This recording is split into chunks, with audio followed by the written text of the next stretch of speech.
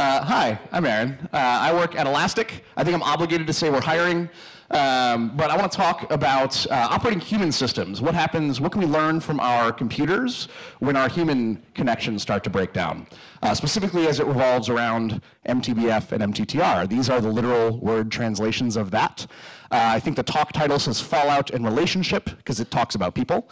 Uh, and specifically, we're going to argue that optimizing for repair and relationship is better than trying to avoid failure. Uh, we're also going to be dealing with complex systems. Complex systems are big, they're always changing, they're inherently unknowable as a whole. Uh, the same input doesn't always equal the same output when you're dealing with these. Uh, we build computers like this. Humans individually are complex, and as a network, even more so. Uh, there's no root cause to failure in complex systems and consequently our relationships. Uh, the root cause to every plane crash is gravity, but that's a bad excuse to stop looking for challenges. We want to actually learn from these, not try to scapegoat it. Uh, so when we build to avoid failure, we build lots of rigid systems. There's lots of no's. Uh, we try to imagine every failure case, and we can't. Uh, so we end up building a lot of workarounds and a lot of tech debt all this buildup of tech debt eventually comes due. It can lead to catastrophic failure. Yep. Uh, and this happens in our relationships too. Like we have relational debt. Whenever we interact with someone, uh, some amount of transaction takes place. It's not zero sum. We can walk away both being enriched from that interaction. Uh, we can both be worse off or it can go one way or another. Uh, but if we don't deal with that debt and that failure to connect, uh, we have problems long term. Uh, and it's not inherently an issue that we have failure that's sort of how we learn where the edges of our system are, right? Like when we find out when things went wrong, we know where those edges are. It's okay to find that so you know when to hold back. When do I need like a little more comfort so I don't run face first into a fence? Uh, or when do we need to push through the discomfort? When is it okay to push a little harder so that we both grow maybe individually, but more importantly in that relationship and that network that we're building?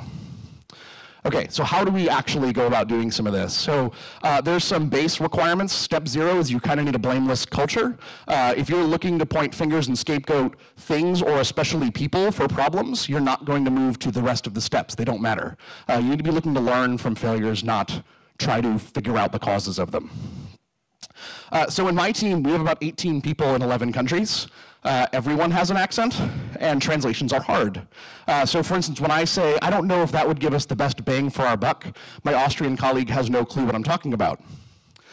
Uh, so we have to assume good intent. This actually happened with an individual on our team where we just weren't communicating at the same page. Uh, we realized this as I'm typing like really long Slack comments, and I'm like, this should be done in person. Um, it's important to remember you're on the same team. So we also have the Zoom command. I think this is actually built-in Zoom integration to Slack.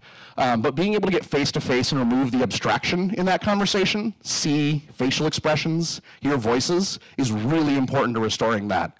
Uh, and things worked out really well once we could actually talk face-to-face. -face. Uh, right, so two-way communication is way better than shouting into the void. Uh, sorry, Twitter, that's the entire business model, but uh, it's true.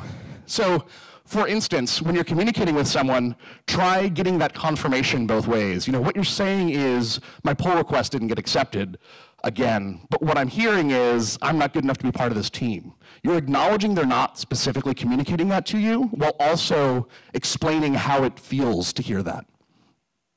We still have breakdowns. Uh, we have processes for troubleshooting computer problems.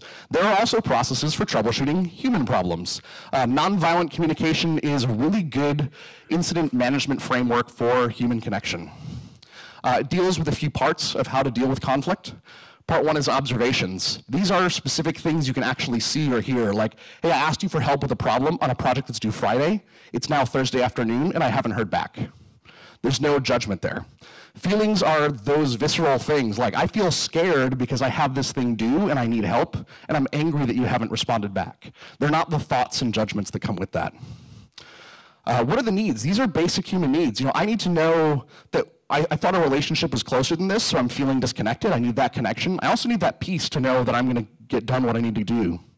Uh, and then requests are positive requests, and they're not demands because there's other power structure challenges there. But um, hey, when I ask for something, can you give me a time frame? And if we're going to violate that time box, could you just let me know? Like, I just need to know that I can count on you or not for something. Um, that's not enough to do this yourself. So here's a bunch of resources. This is like the picture slide, but also I'll give a link to them on Twitter um, for that. And thank you. Let's do an open space to talk more too. Thanks.